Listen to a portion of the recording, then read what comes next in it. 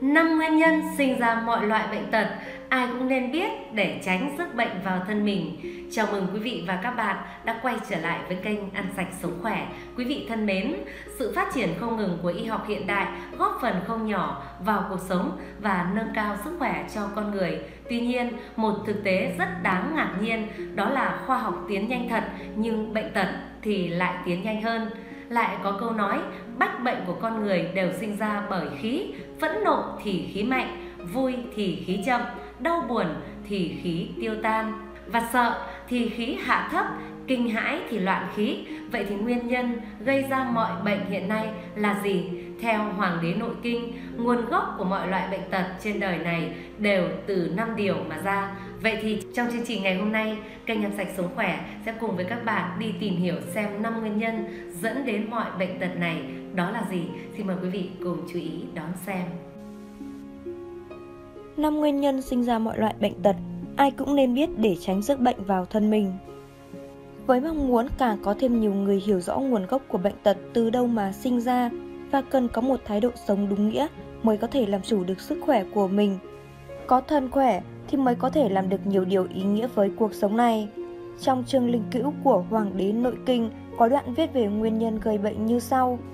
Điều đầu tiên, sinh ra mọi loại bệnh, tất cả bắt đầu ở táo khô, thấp, ẩm ướt, hàn, lạnh, thử, nóng, phong, mưa, vũ, gió, âm dương bất hòa, vui buồn tức giận và nơi sinh sống nguyên văn, phủ bách bệnh trì thủy sinh giả, tất khởi vù táo thấp, hàn thử phong vũ, âm dương, hỉ nộ, ẩm thực, cư xử.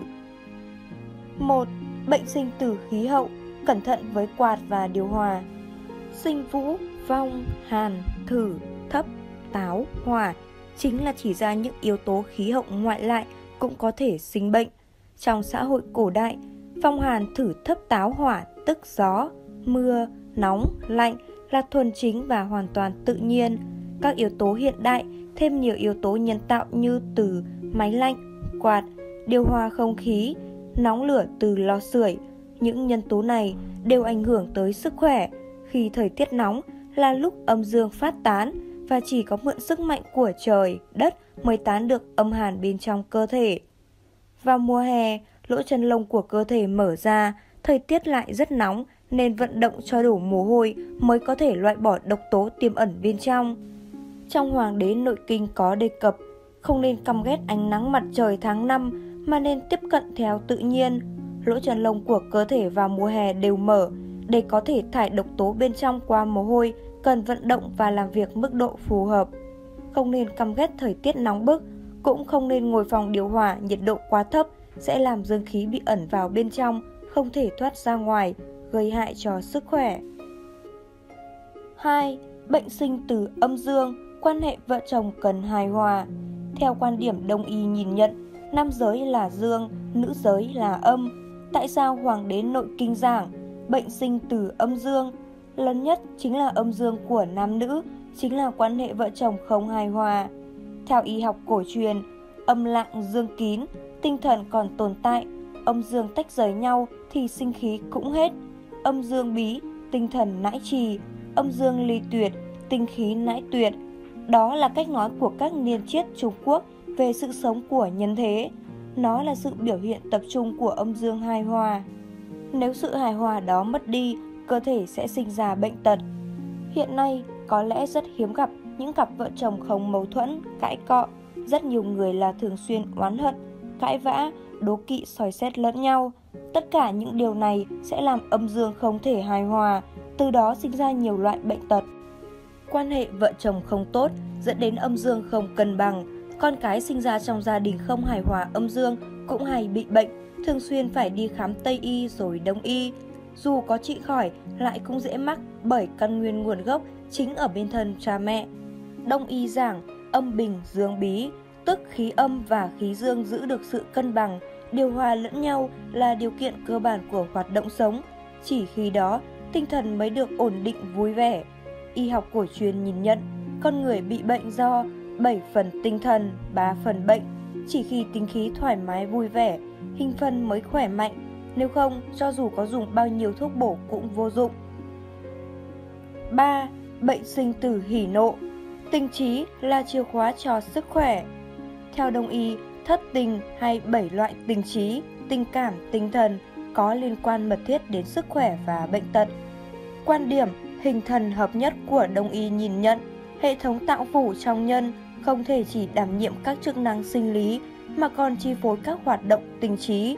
Mỗi loại tình trí thông ứng với một tạng nhất định. Kinh và hỉ thông ứng với tạng tâm, nộ ứng với tạng can, tư ứng với cạn kỳ, bi và ưu ứng với tạng phế, khủng ứng với tạng thận.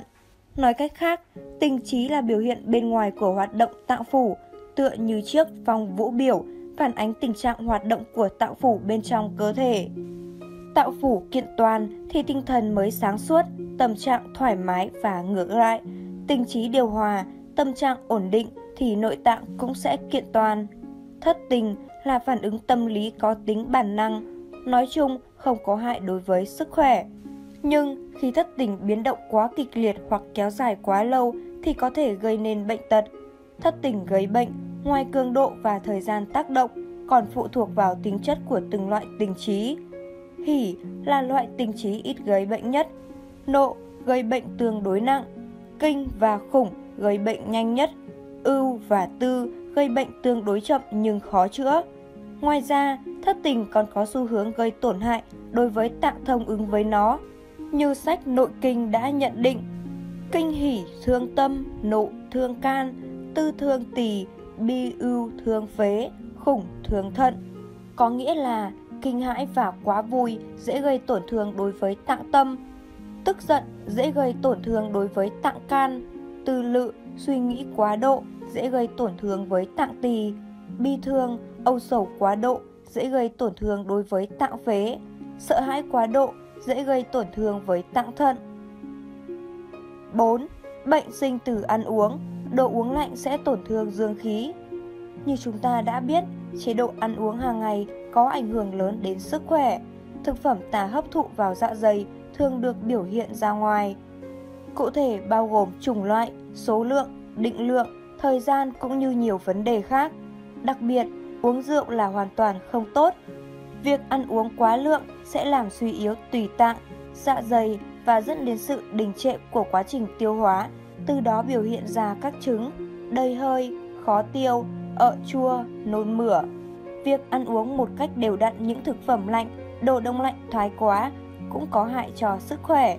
Những thực phẩm đông lạnh, kem có thể gây tổn hại tới dương khí của tỳ và làm chức năng chuyển hóa của tỳ bị suy yếu. Ngoài ra, điều rất quan trọng nên hạn chế ăn mặn, tập ăn chay nhiều hơn, đồng thời thường xuyên bổ sung các loại trái cây và rau quả. 5. Bệnh sinh từ nơi cư trú, ngủ chính là dưỡng bệnh. Nơi cư trú cũng có ảnh hưởng lớn đến sức khỏe và môi trường sống, thực sự là phong thủy. Phong thủy và đông y chính là giảng cùng một đạo lý, tất cả đều nói về ngũ hành. Làm thế nào để thu khí tại nơi cư trú? Hướng cửa sổ nạp loại khí gì? Chính là cần tuân thủ theo luật âm dương ngũ hành. Ngũ hành hài hòa hay không, tương sinh hay tương khắc đều sẽ ảnh hưởng đến sức khỏe. Có nhiều điều sẽ làm tiêu tan âm dương, hành động, suy nghĩ của chúng ta đều có thể làm hao tổn dương khí. Nhưng có rất ít cách để bổ sung lại gần như chỉ dựa vào giấc ngủ. Có thể nói đây gần như là cách duy nhất để bổ sung lại dương khí, là cách duy nhất để tăng cường sức khỏe. Vì vậy, giấc ngủ khá quan trọng. Giấc ngủ là một phần quan trọng của sức khỏe. Nuôi dưỡng chính là dùng lượng giấc ngủ để các tế bào khỏe mạnh thay thế các tế bào yếu kém. Nếu như cả đêm không ngủ thì tế bào mới không thay thế được cho các tế bào cũ. Nếu như ban ngày tiêu hao 1 triệu tế bào, buổi tối chỉ ngủ lại bù được 500.000 tế bào, lúc này cơ thể bạn sẽ xuất hiện tình trạng thiếu hụt. Lâu dần, sức khỏe của con người sẽ bị thiếu hụt, bị giống rỗng như củ cải bị xốp. Tại sao trên thế giới có những người sống đến cả 100 tuổi? Đó là bởi vì họ đều đi ngủ vào đúng 21 giờ tối. Theo thuật dưỡng sinh cổ đại, giấc ngủ là quan trọng nhất trong dưỡng sinh. Một đêm không ngủ, trong ngày không bù hết. Ngủ trước giờ tí, từ 11 giờ tối đến 1 giờ sáng, hiệu quả tăng gấp đôi. Mỗi tiếng đồng hồ ngủ trước giờ tí tương đương với 2 tiếng đồng hồ ngủ sau giờ tí. Vào giờ tí là lúc kinh can mạnh nhất. Thời gian này mà không ngủ thì không những khí can không dưỡng được mà còn hao tổn, bất lợi cho sức khỏe. Bên cạnh đó, thời gian ngủ tốt nhất là giờ hợi, buổi tối từ 9 giờ đến 11 giờ, đến giờ dần từ 3 giờ đến 5 giờ sáng. Vì giờ hợi, kim tan tiêu hoạt động mạnh, kim tan tiêu thông nối vô số mạch. Lúc này, cơ thể trong trạng thái ngủ thì các mạch được dưỡng khí, cơ thể nhờ đó mà khỏe mạnh. Các bạn thân mến, vào khoảng những năm 30 đến 40 tuổi, sự nghiệp của Tống Mỹ Linh lên đến đỉnh cao, được xem là đệ nhất phu nhân ở Trung Quốc. Nhưng về cuối đời không con cháu, chỉ nhờ vào sự quan tâm của bạn bè. Cuộc đời của bà kéo dài qua ba thế kỷ, thọ tới 106 tuổi, rất viên mãn, hạnh phúc. Cố đệ nhất phu nhân từng là một trong những người phụ nữ nổi tiếng nhất ở thế kỷ 20. Điều gì đã làm nên những điều kỳ diệu trong cuộc đời bà? Biết buông bỏ, bí quyết trường thọ của Tống Mỹ Linh là nhờ bà có tri thức về bảo vệ sức khỏe, biết giữ tâm thái điềm nhiên, bình ổn trước sóng gió cuộc đời. Với Tống Mỹ Linh, quyền lực chỉ như hạt xương trên bông hoa, bà luôn sống tràn đầy năng lượng với trí tuệ thông minh và sức quyến rũ. Với bà, mọi thứ đều nhẹ nhàng, mọi việc có được, có mất. Vì thế, biết buông bỏ vật ngoài thân chính là cách sống khỏe mạnh của bà. Trong cuộc sống, người này tranh của người kia, nhưng cuối rồi thì thế nào? Khi nhắm mắt lại thì mọi vật ngoài thân của mình đều biến thành của người khác. Ngày trước, tài sản trong tay tử hy lão Phật gia, nhiều người chúng ta không thể sánh kịp. Nhưng sau khi chết, bà ấy có mang đi được không? Một chút châu báu chôn theo trong lăng mộ, cuối cùng sau này còn mang đến tai họa, bị người ta đào mộ lên để ăn trộm. Uống trà xanh có thời gian bà Tống rất thích uống cà phê. Sau này, qua mỗi một thầy thuốc, bà hiểu rõ cà phê không có lợi cho sức khỏe. Tống Mễ Linh chuyển qua uống nước đã đun sôi và thường xuyên ăn chay.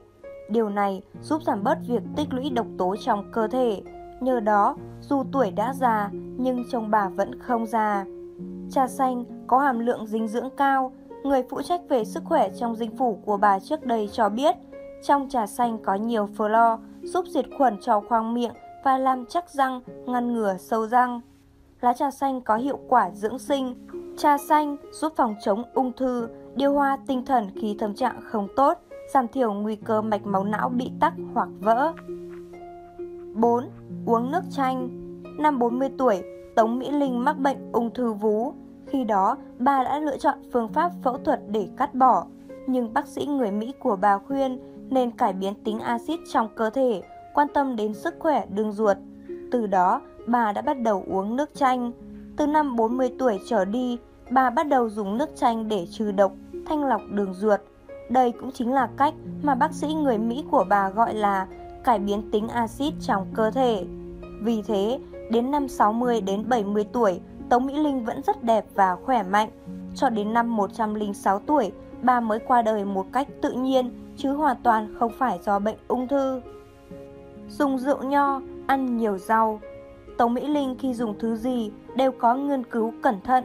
Bà biết rằng giá trị dinh dưỡng của rượu nho nằm ở chất Revatachol mà chất giúp chống oxy hóa rất tốt. Rượu nho còn có chất chống oxy hóa, có tác dụng bảo vệ tim mạch, giúp phòng chống bệnh tim mạch vành và suy tim, rất tốt cho những người khi bước vào tuổi trùng lão niên. Rượu nho cũng có tác dụng kích thích hỗ trợ tiêu hóa. Tống Mỹ Linh từng học tại Mỹ từ năm 10 tuổi. Sau khi về nước, bà vẫn luôn giữ thói quen hình thành từ thời niên thiếu, đó là ăn nhiều rau trong bữa ăn hàng ngày. Với món ăn phương Tây thì thường dùng món salad trộn. Loại rau bà thường ăn là rau chân vịt vì chúng giàu protein, nhiều loại vitamin và khoáng chất. Thường xuyên massage Bà Tống từng nói rất nhiều về sự quan trọng của việc đả thông kinh lạc. Bà đã bắt đầu vận dụng phương pháp này từ thập niên 30 của thế kỷ trước. Nguồn gốc của massage không xuất phát từ Tây Phương mà chính là liệu pháp từ thời cổ đại ở Trung Quốc. Vì phần lưng của cơ thể có rất nhiều huyệt vị giúp cơ thể khỏe mạnh và dưỡng sinh. Ví dụ, huyệt mệnh môn, định xuyễn, phế du, thận du, vong môn đều tập trung ở sau lưng. Nếu trong lúc bị bệnh kích thích những huyệt này thì chắc chắn rất có ích cho việc trị bệnh. Những huyệt vị quan trọng này chủ yếu tập trung quanh cột sống, thần kinh, quanh cột sống có liên quan chặt chẽ với nội tạng trong cơ thể. Vì thế, massage những huyệt vị này không chỉ giúp xoa dịu bệnh tật mà còn giúp lưu thông máu huyết, kích thích đầu dây thần kinh nên có lợi cho việc thay thế tế bào mới. Do những huyệt vị này có liên kết với tạng phủ và não bộ nên việc kích thích chúng cũng có tác dụng tốt cho hoạt động của tạng phủ và giúp đầu óc minh mẫn hơn. Quý vị và các bạn thân mến, bệnh không chỉ từ miệng mà ra và mọi tác nhân xung quanh chúng ta đều có thể sinh ra bệnh.